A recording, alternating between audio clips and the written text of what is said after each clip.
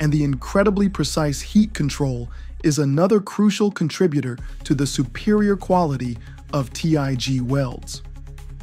Experienced TIG welders have an almost microscopic level of control over the heat input, which significantly minimizes the risk of material distortion and burn through, especially when working with thinner or more delicate materials.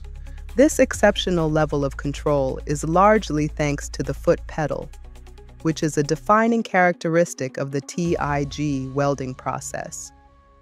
Absolutely.